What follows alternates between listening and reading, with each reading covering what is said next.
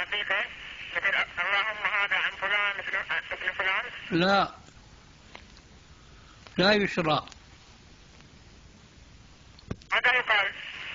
لا شيء. إلا ما يقال عند كل ذبح.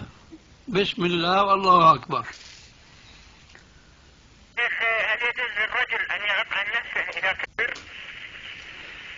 إذا لم يعق عنه أبوه. نفسها إن كان لم يعق عنها أبوها مالها؟ نعم مالها؟ أيوة من مالها ولا ولا ولا يجوز من مال زوجها؟ يعطيها هو